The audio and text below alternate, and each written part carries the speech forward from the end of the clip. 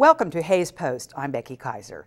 Room and board at the state's universities, including Fort Hays State and Hayes, will increase next year. Those costs at Fort Hays State will go up 2.1%. It is the lowest among Kansas Regents schools. The Board of Regents approved the hikes Wednesday, saying the increases are necessary to cover anticipated inflation as well as facility maintenance and improvements. North Central Kansas Technical College is looking for a culinary arts instructor. The program is currently based at the Beloit campus where the instructor is retiring. NCK Tech is also partnered with the development of a convention center in Hays. The dean of the Hays campus, Don Benjamin, hopes the program can be established in Hays using the convention center facilities to train students. The Beloit program has space for just 12 students.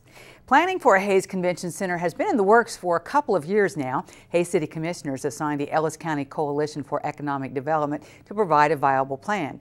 No developer has been chosen, though, and there are preliminary concepts which show a convention center being built west of Vine and south of the Holiday Inn Express. Preliminary funding concepts would include a community improvement district, a CID, that would establish an increased sales tax in the area to pay off bonds used in construction. Fort Hays State University students in the hospitality management program would be trained at the facility.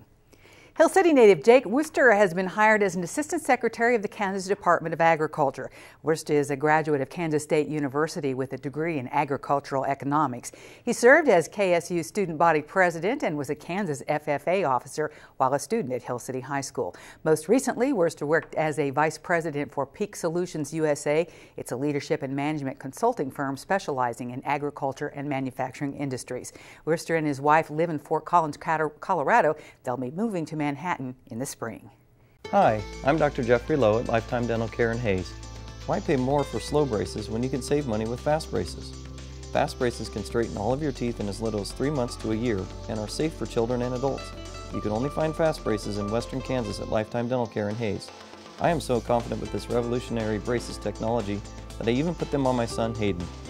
It's amazing how fast my teeth have adjusted and it's a lot more comfortable than I thought it was going to be. So call now to schedule a free consultation and see if Fast Braces is right for you. Well, my brother kind of helped me out, you know, because he, uh, he kept on telling me to get hearing aids and I told him I had my ears checked and they told me that I'm all right, you know, but that he wasn't talking loud enough, which isn't really what it was, you know. Well, really, I've talked to several people uh, that have come out here. Uh, the ones that I talked to were very satisfied. Improve your quality of life today. Call Hearing Solutions. Christmas decor and gifts for loved ones are very plentiful throughout Flowers by Francis.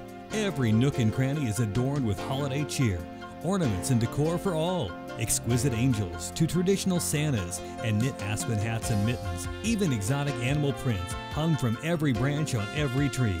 Beautiful wreaths and centerpieces, lighted pictures, fontanini figurines, lots of gifts from the heart. Flowers by Francis in Hays.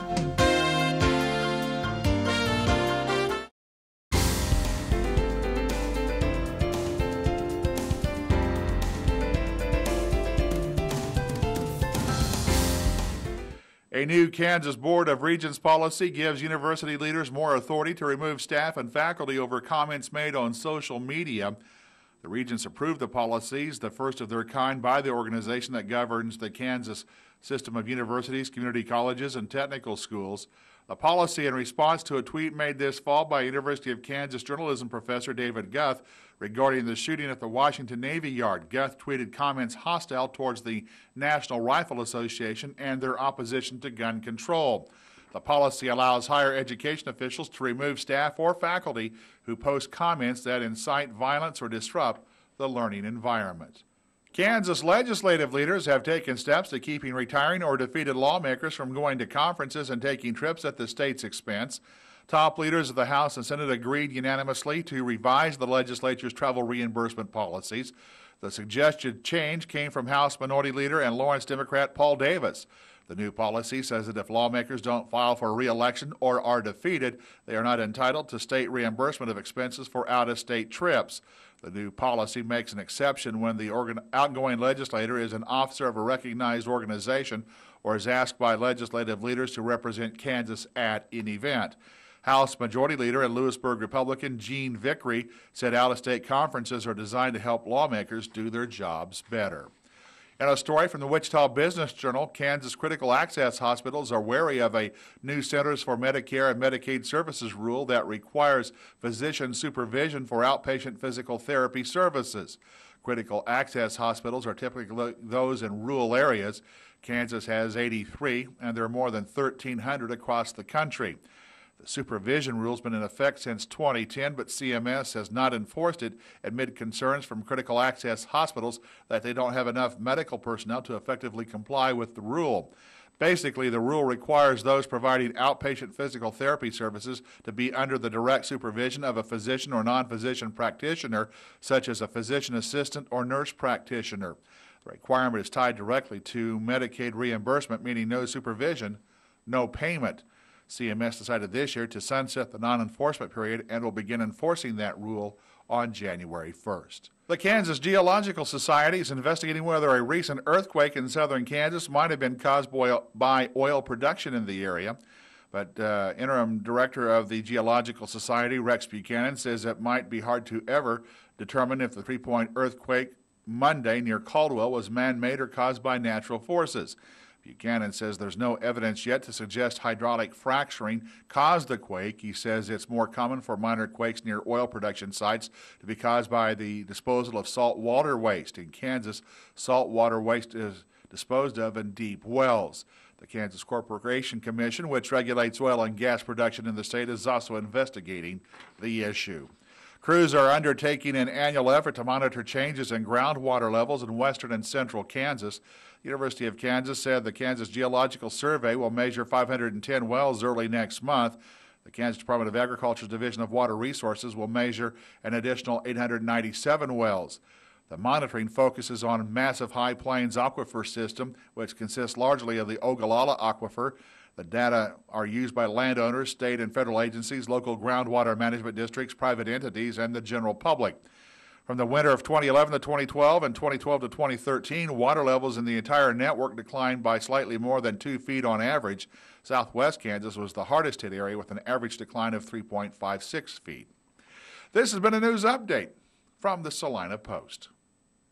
Thanks, Randy. Remember, there is always more news online on our website, hayspost.com. Winter officially starts Saturday, and there is a change in the air. Kathy Carrier has our weather forecast coming up next on Hays Post. Our shelves are filled with the largest assortment of Brighton ever. Remember to brighten her Christmas. Scarves, the perfect winter accessory. Watches are a timeless gift. Be ready for sweater season. We are excited to announce our new line Simply. Keep it basic or bling it up for the holidays. Don't forget gift cards. Happy holidays from all of us at Mamzelles. Christmas is almost here, and there's no place like Gibson's Health Mart Pharmacy in WaKeeney to brighten your holidays. Health Mart pharmacies are locally owned pharmacies. At Gibson's, you'll find decorations galore from lights and wreaths to Santas and trees. There's gifts for everyone on the list, from mom and dad to grandma and grandpa, and of course, the kids. When it comes to pharmacy, you've made the right choice. Health Mart pharmacists are trusted healthcare resources. Merry Christmas from Gibson's Health Mart in WaKeeney.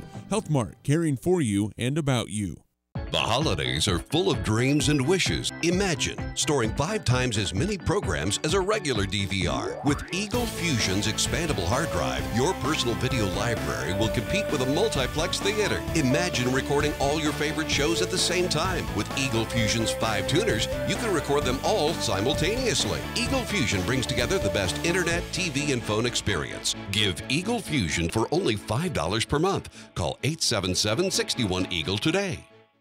A storm system moving in from the southwest will bring winter weather to Kansas over the weekend with snow and sleet possible. If you are traveling, stay tuned to the weather for updates throughout the weekend. Here's the latest look at your Eagle weather. For Hays, Victoria, and Munjor, it'll be partly sunny on Friday with north winds 10 to 15 miles per hour, cloudy with a chance of snow and sleet Friday night and Saturday with snow possible Saturday night. The high on Friday 30 degrees with a low of 20. The high on Saturday 31 degrees with a low of 19. It'll be mostly sunny Sunday and a high of 28.